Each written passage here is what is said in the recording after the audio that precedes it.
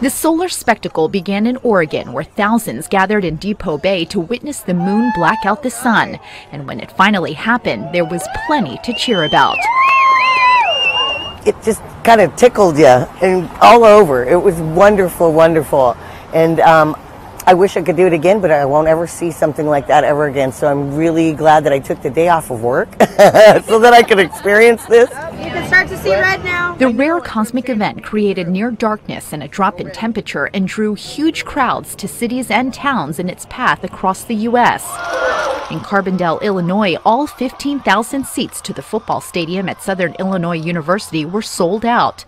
It's where eclipse totality lasted the longest in the U.S., although spectators were momentarily disappointed when clouds blocked out the view.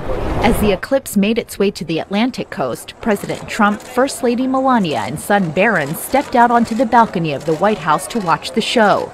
The last time a spectacle unfolded from one U.S. coast to the other was in 1918. For watchers in Charleston, South Carolina, 2017's version was a celestial treat they'll never forget. And then you saw the corona, and everybody was like, oh my God, it's the corona! And everybody started clapping, and people were cheering, and it was great.